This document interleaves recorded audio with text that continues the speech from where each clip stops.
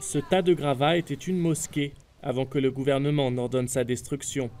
Dans ce quartier de Mosimboa da tout au nord du Mozambique, des jeunes y pratiquaient depuis quelques années une version radicale de l'islam.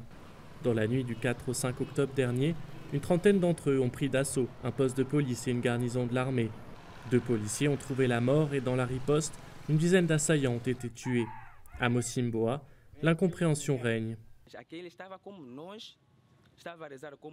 Avant, ils étaient comme nous, ils priaient comme nous. Il a suffi qu'ils regardent ces cassettes de Somalie pour commencer à se faire appeler les Al-Shabaab du Mozambique. Cette première opération djihadiste a provoqué un coup de tonnerre dans un pays encore meurtri par une longue guerre civile. D'après les autorités, aucun lien avec les Shebabs de Somalie ou tout autre groupe djihadiste n'est avéré. Il est en revanche établi que certains de ces jeunes se rendaient régulièrement en Tanzanie, au Soudan, en Somalie, où ils se seraient radicalisés. De leur côté, les chefs religieux se sentent coupables d'avoir laissé faire. Beaucoup de gens se sont fait avoir.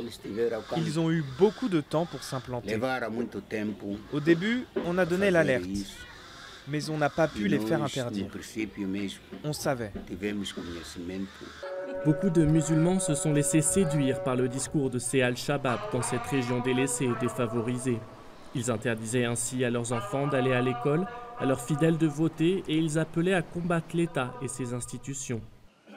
Après les attaques, les autorités ont mené un gigantesque coup de filet.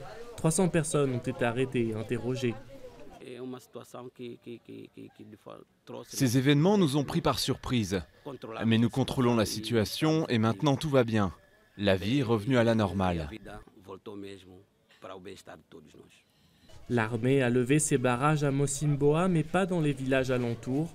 De l'aveu même des autorités, les routes restent sous la menace des rescapés du groupe qui se seraient réfugiés dans la forêt. Les villageois vivent dans la peur. Plusieurs d'entre eux, comme Momadi, font état d'attaques et de kidnapping.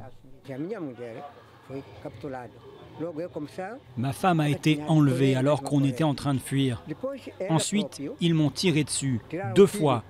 Je l'ai échappé belle.